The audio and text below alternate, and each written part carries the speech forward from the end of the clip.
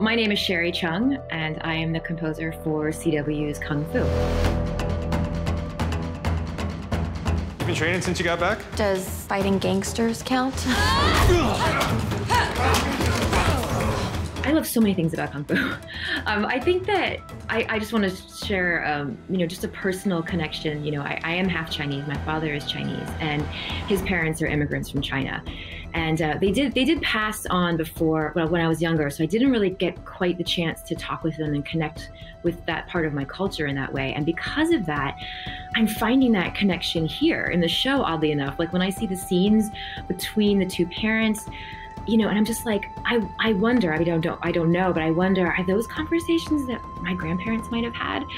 I wonder if there are others, you know, in, in who, who might watch the show who are of mixed race like I am, half Chinese and half, half Caucasian. And I do wonder if maybe if they didn't get a chance to connect as much with their history and their, their culture and their heritage.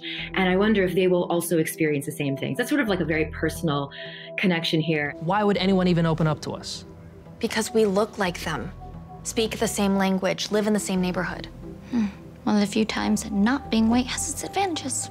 It's interesting to watch the progression of the diversity and inclusion, specifically in film in film composition. When I do think that the that people who are not in the industry do do watch our industry or look at it, they think of like your sort of big top composers, but you know who happened to be male and happened to be white. You know when i when i did the graduate program at usc there were 16 of us and two of us were females.